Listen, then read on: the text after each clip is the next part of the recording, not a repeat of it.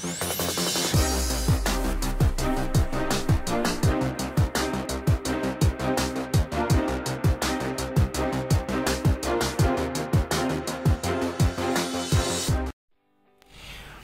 amigos, bueno, siguiendo con, con mi teoría de hacer las diferentes opciones que nos ofrece el punto bajo, aquí recuerdo, tenemos el punto bajo de ida y de vuelta haciendo y de vuelta y de vuelta.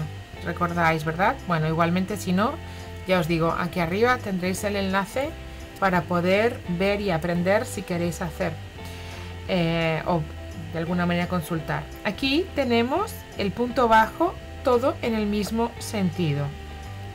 ¿Vale? Os lo recuerdo, este es típico de amigurimis, en el que se van haciendo los aumentos y las disminuciones siempre en el mismo sentido. Queda muy bonito también.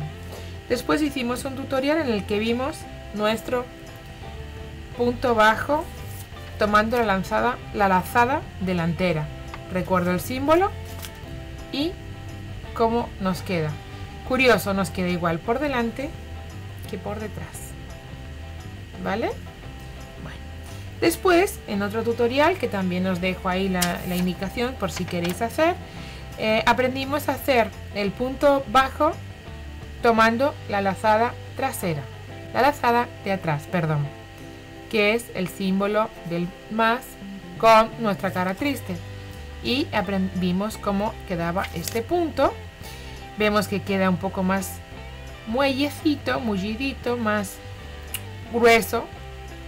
Y también es igual por delante que por detrás. ¿Ok? Y en este tutorial, mini tutorial, mini cookie tutorial, con un cookie truco, vamos a aprender a hacer el retiro esto, que si no nos volveremos locos. Eh, el eh, vamos a aprender a hacer punto de relieve o vamos a ver cómo nos queda el punto bajo esta vez tomado por delante con nuestras sonrisas que dibujo fatal o sea es que yo escribí y en la siguiente vuelta el punto bajo pero con nuestra cara triste es decir con tomando la lazada de atrás esta sería la representación gráfica que nosotros viéramos en, un, en cualquier proyecto que nosotros vayamos a hacer, ¿vale? Está sonriente. En la siguiente está triste. ¿Vale? Insisto. Punto bajo tomando la lazada delantera. Punto bajo tomando la lazada trasera. Y repetimos. Delantera, trasera. ¿Ok? Bueno, pues aquí vamos a ver cómo nos queda nuestro punto. Esta sería la manera en la que queda y ahora vamos a hacerlo. Aquí sí hay derecho y revés, como podéis ver. Vuelven a haber dos maneras de poner nuestro punto. ¿Vale? Esta es la parte de adelante, esta es la parte de atrás. ¿Ok? Bueno, pues vamos a ver cómo haríamos. Aquí, si os fijáis o si podéis ver, hemos enganchado en la primera, en la primera lazada, en la de delante. Con lo cual ahora nos toca atrás. Haremos una cadena en la de delante porque no se ve la de delante atrás, ¿vale? Si hubiéramos enganchado la de atrás tendríamos que tener una delantera por aquí. Tendríamos un hilito.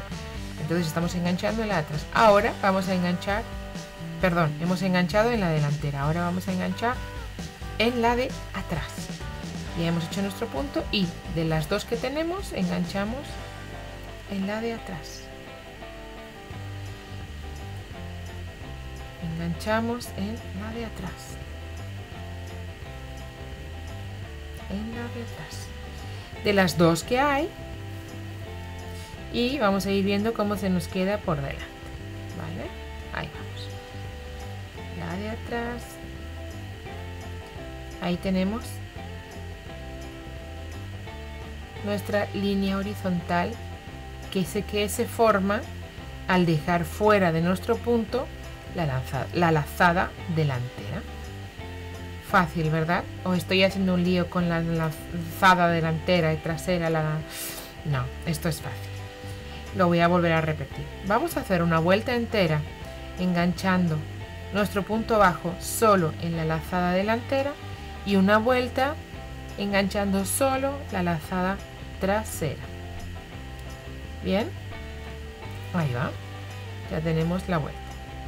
Ahora hemos enganchado en la lazada trasera, pues vamos a dar la vuelta y engancharemos en la de delante. ¿Sí? Solo en uno. El truco está ahí, en, en que enganchamos solo en uno. Ahí está.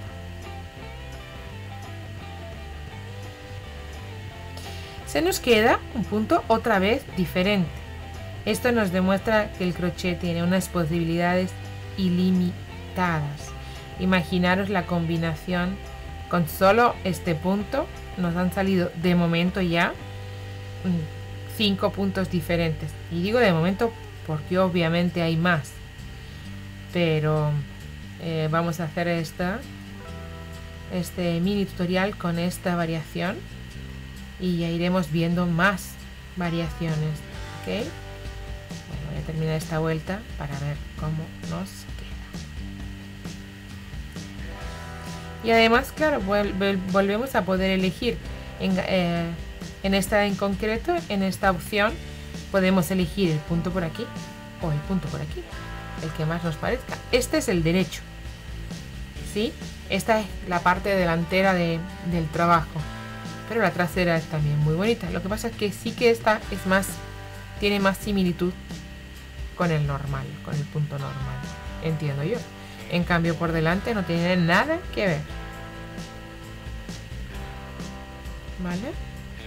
Bueno, pues ya tenemos otra forma de ver nuestro punto bajo. Un punto diferente, bonito y bueno, la representación gráfica. Más o menos porque es un poco churrito.